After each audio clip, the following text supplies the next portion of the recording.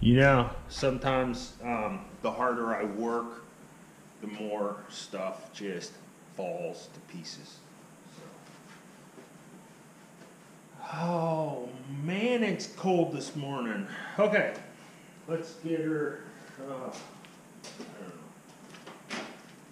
There.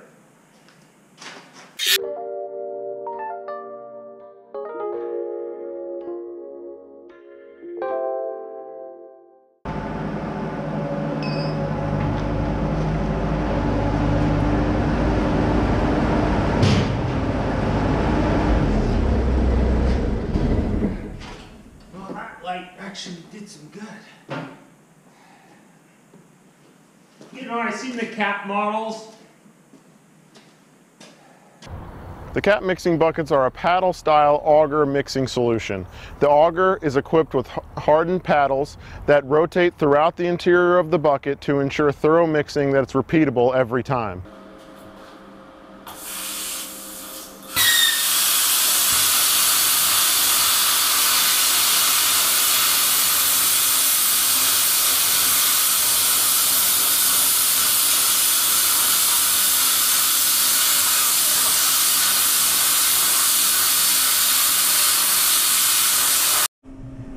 So I went outside and grabbed a handful uh, of just some of the material I'm running through the uh, machine.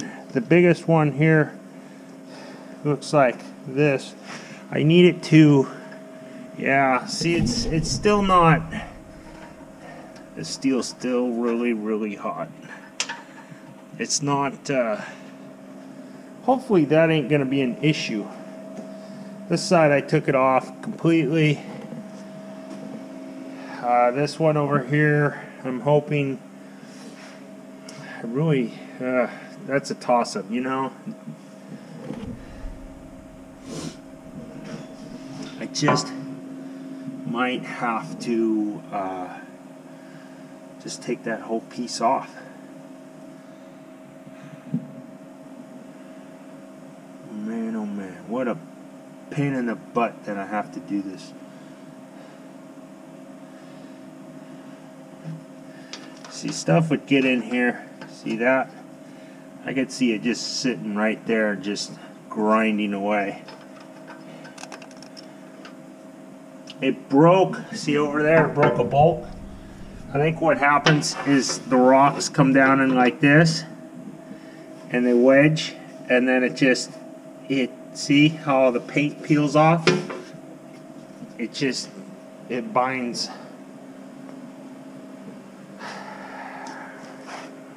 You can also drive into piles with the cutting edge that's out front of this bucket. Whether it be sand, gravel, dirt that you're going to mix with limestone for a base, you can drive into those raw material piles with the cutting edge, load the desired amount that you want, and simply go back to the mixing operation.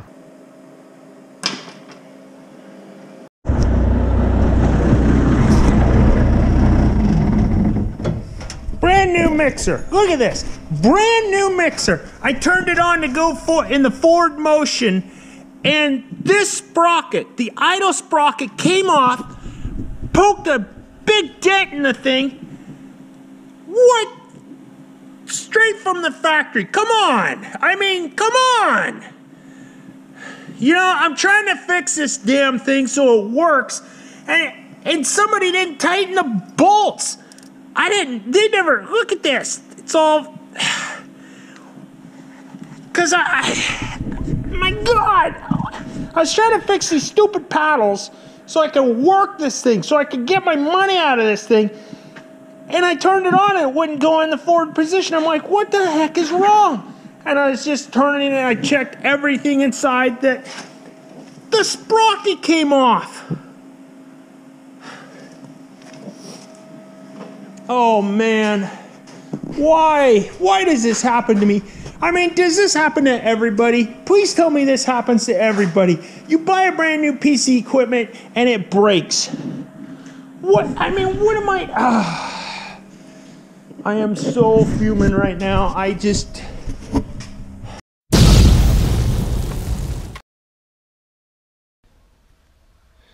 So I had to modify this. I think what I'm going to do is when the guys show up, if they ever show up, then I'm just going to have them take the grinder and just shave some of this off just so that there's an edge on it like this all the way. Um, I think that would be the best. That way, when the rocks get in there, that the rocks will will hopefully hopefully they'll turn out. You know, pull out of um, pull out of the way like this here. Nice big wide. Some of these need to be just hit with the grinder and smoothed off. Just I think all you need it is the very beginning of it just to uh, have that rock curl. But see this, I didn't do this. This is from running, you know, the mixer. Uh, everything I looked online, everything I've tried to find, I couldn't find anything decent. These bolts were loose. This uh, adjuster sprocket came off, went up there and jammed it, which wrecks this whole shroud. So I'm gonna try and fix that and uh, try to put the door back, the shroud back on. Uh, it's nice to see that, you know, like the cat mixer, because this company makes this mixer for cat. It's nice to see that they didn't be chimsy or, you know, they, they spent the time and the money to put in decent gear and all that. But I think what I might do is um, this winter when I have some downtime, I might put a half a link in here, take this out and cut it and just put a half link in just so there's so there's not so much slop in there. Um, I'll just have to see later on. So I'm gonna, I tightened up these bolts here. I guess I should make sure that these are all tight as well. I don't want to, I shouldn't have to worry about these, but you know what? Well, I've got the cover off. I might as well just stick a wrench on there and tighten those as well. So, luckily I didn't wreck my, or did I? No, that's a, the grease fitting thing is uh, well built. I, I just, you know, you buy something, you want to, you want to just get on it, and you want to run it. This is my life. This is this is why I don't get anywhere or get anything done. I'm always overhauling brand new equipment. That's why I don't like to buy new equipment. I like to buy used equipment because somebody's already gone and figured everything out. Okay, let's see if I can put this other way of putting this sucker back on.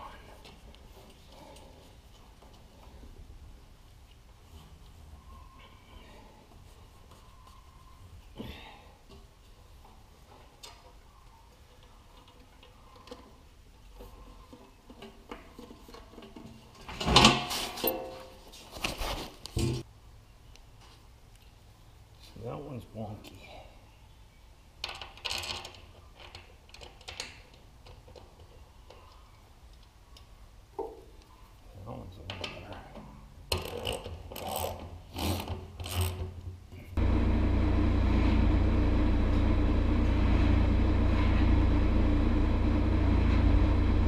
Part of me wants to just wait till after lunch and look. The other half wants to just take it out and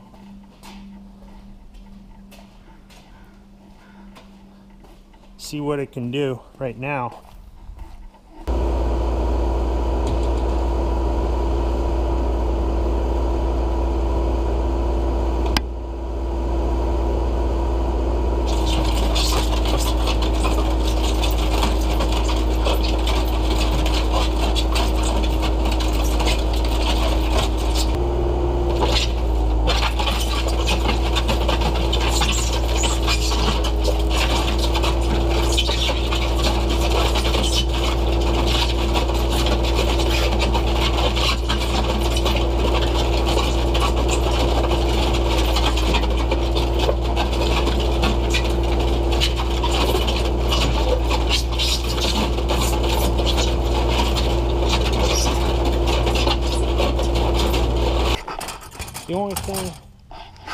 Thing I can think of doing is uh, just running it.